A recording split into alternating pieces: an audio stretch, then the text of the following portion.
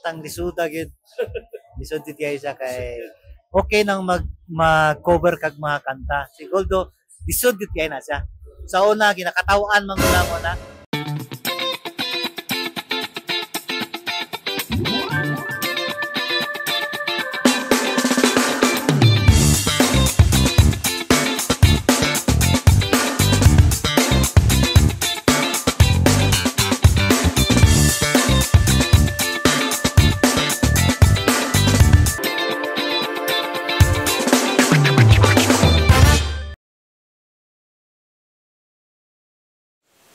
Hi! Welcome po ulit sa ating channel, Davao Music Scene. Maraming maraming salamat po sa lahat na nanonood ng first video po natin.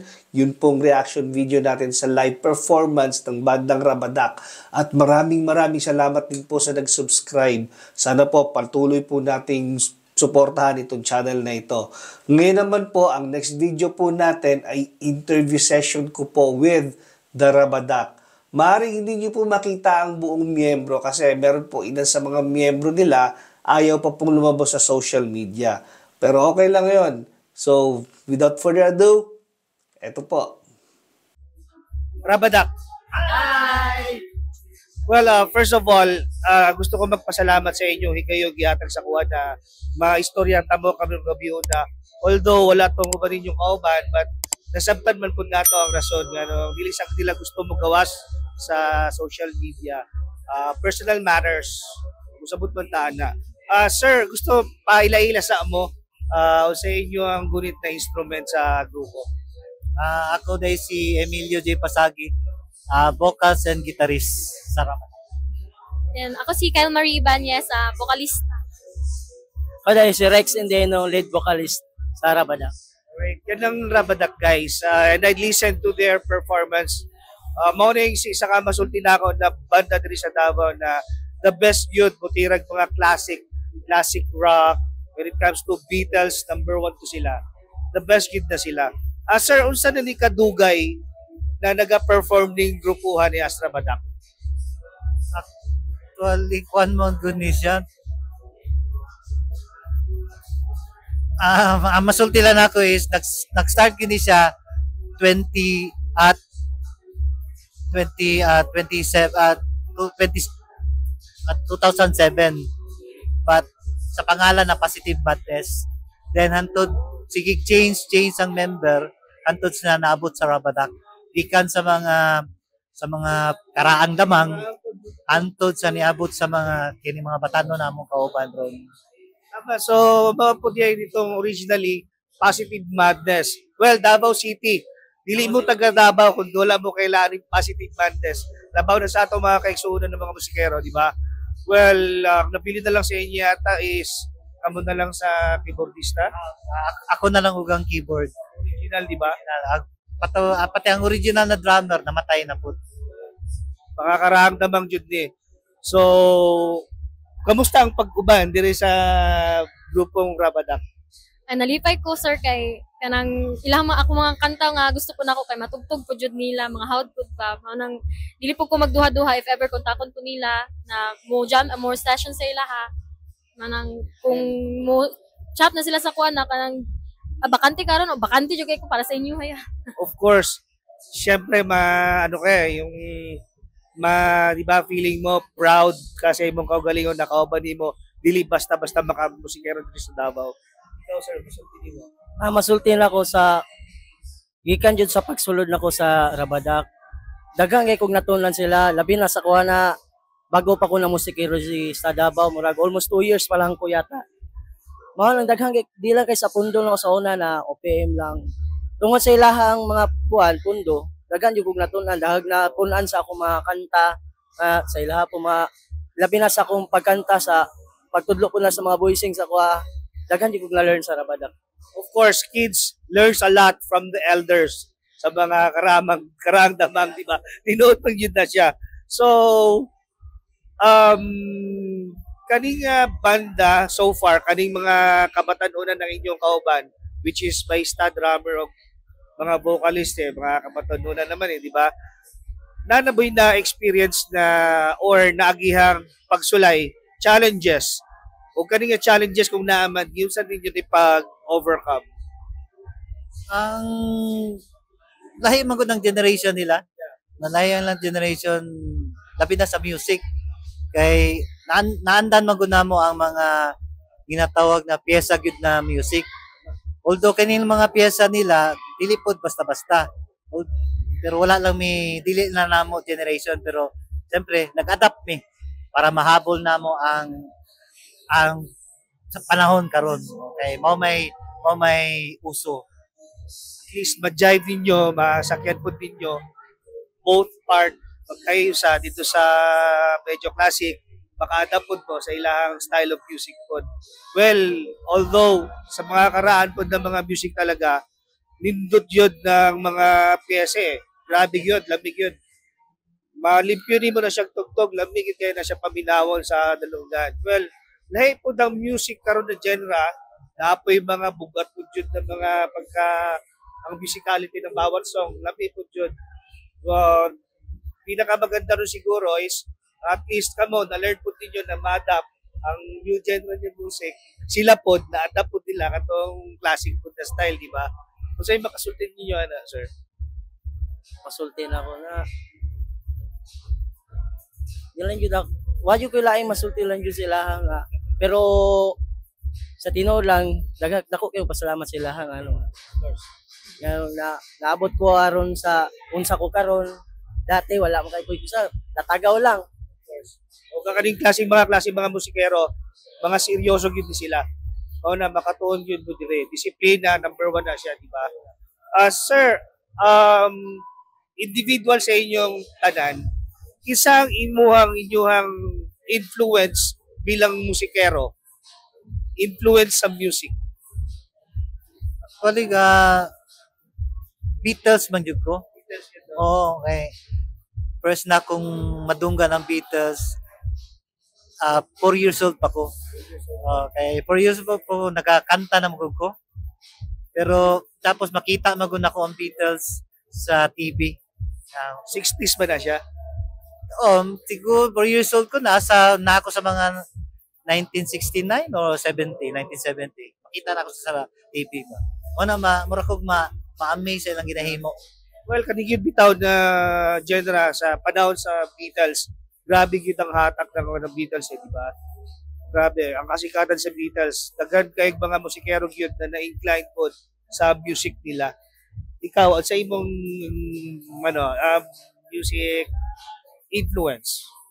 Actually, ang dati kanang ga kuan ako nga unta makapil ko ning mga ning banda kay nagatanaw lang ko sa kanang makita na ako sa mga videos na ay bites man po deni. So, pero nga mo yung naga ano sa ko nga influensya na what if i-grab na ko ning mga nag ano sa ko na apilan ng banda kay okay man imong boses. So mo to gitry na ako siya na ko'y grupo dati na acoustic. Nagsugod jud ko sa acoustic bago ko ning ano sa full band kay para ma-practice ko sa. Pero mao po yung naka ano sa ko ah, mo padayon. So, mga kapwa musikero lang po diyan, yung mga, mga influence. Ikaw, sir?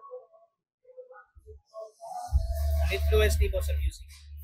ay influence ako sa music is daghan magug maingon sa pag-influensya sa music labi na atong mga labi na karon mo na na ako'y sa para sa kuha sa mas na ako'y silingan na mo pamilya sila sugod gikan sa ilaha naga nagsigi ko sila istorya na padayon inyong pag pagkuan sa musika ana mo lang kay mo ako na naman ko na, na, na naman ko natudloan naman ko sa sa banda na ko karon kung unsa po na katunan ako sila i-share ko na ko para mo kuan mo, mo taas po muna yung pagdikan sa musika jud Tama. So, lahi pa to, sir.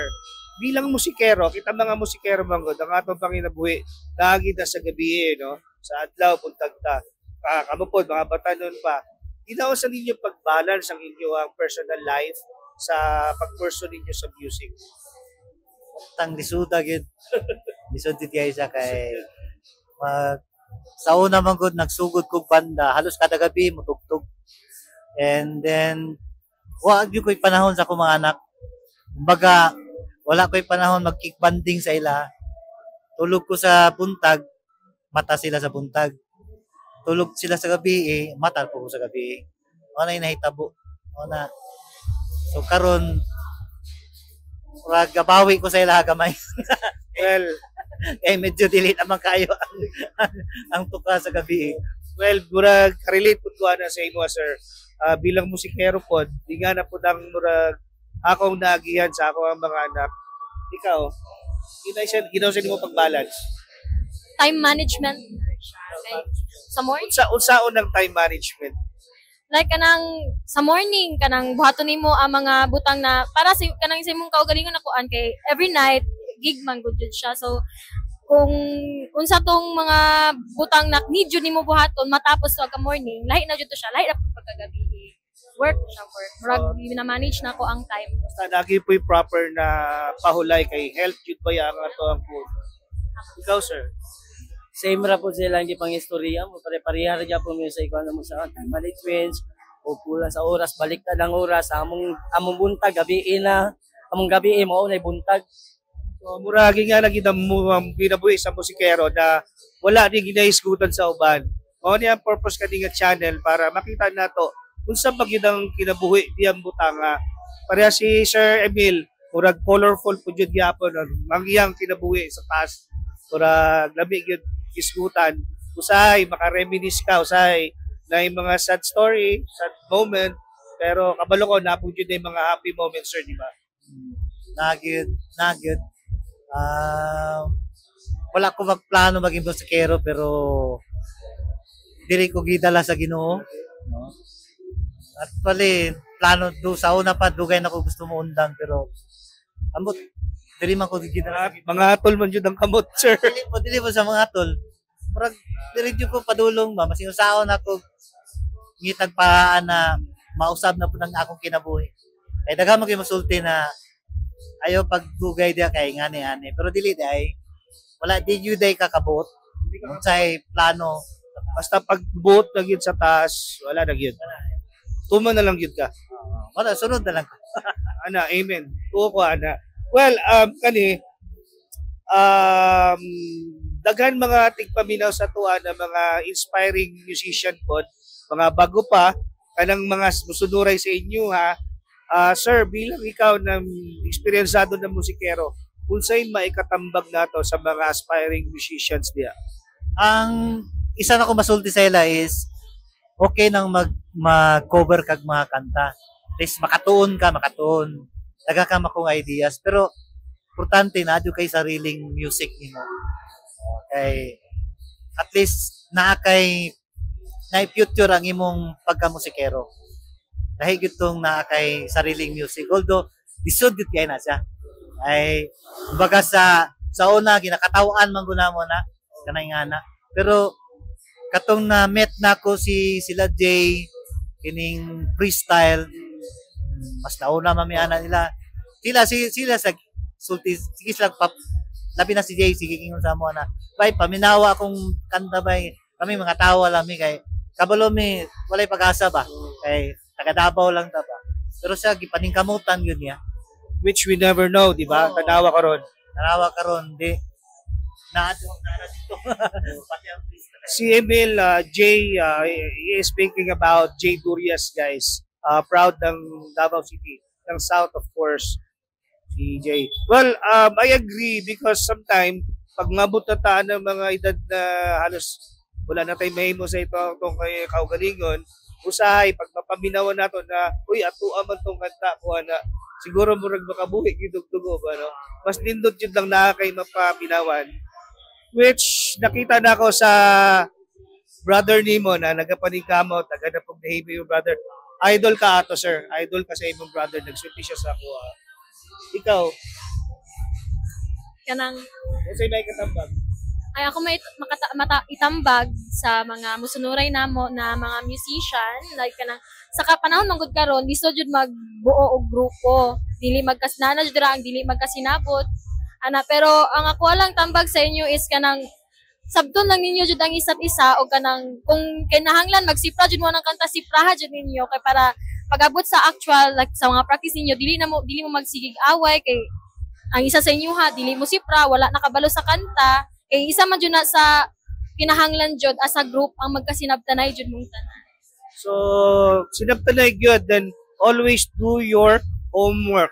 Dili na siya kay limtan. Ayaw pagsalig maayo ka, di mo nang dula-dula diya dili nga na. Kanya-kanyang parte, kanya-kanyang assignment ko ato nato na. Ikaw sir. Mo lang jud. Sinaptan na lang po. Ya isa pa po na ako pong na-learn sila. Once gani og mo absent mo pananggit mo sayo. Ana, dili kay ka nang nakaset na Di orada-orada. Diya na mawala ka. Dapat sayo pa lang. Nakaistorya na ka. Ganun na sa studio mag-practice na tapos moingon na di ko ka na aray sakit kayo. Right. Alright. Rabadak, thank you thank you so much kay sir sa gayon inyong gihatag sa kuha. Dili na ako ni makalimtanog. Dili lang ni mga ang atong pag pag ano, pag gatay. Moabot ang time balikan ta mo. I I I, I can see a lot of um, nice story about this band, not just the group but individually. Labaw na sa imo sir. Salamat kayo. Rabadak. Yun po ang naging pag-uusap namin ng bandang Rabadak. Nakakatuwa po na mula sa mga karaan namang, yun yung tawag natin dito sa Davao, right? At pati kasama nila ngayon, mga kabataan, talagang nag-jive yung music nila.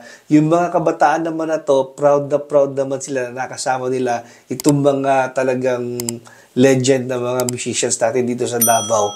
Both sides, meron silang mga natututunan, di ba? Sana po, meron din po kayong natutunan. Hanggang sa muli po, salamat po, Davao Music Scene.